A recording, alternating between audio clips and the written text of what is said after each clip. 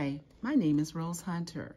I joined the STEM Academy in March, and I'm looking forward to really, really working a full year and learning the different people and the children and the parents. So I'm extremely excited about that. I've been an educator for 17 years, and I've been working in special education for 12 years. My bachelor's degree in health administration with a minor in library science. My master's degree is in middle grades education and special education. I obtained both of my degrees from Armstrong State Atlantic University, which is now called Georgia Southern Armstrong Campus University.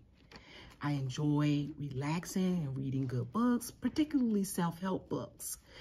My favorite color is black. I am partial to navy blue as well, but Black is my favorite color. I've been married um, for 35 years. I do have one daughter. Her name is Christina. I do have three precious grandchildren, and I love spending time with them and spoiling them.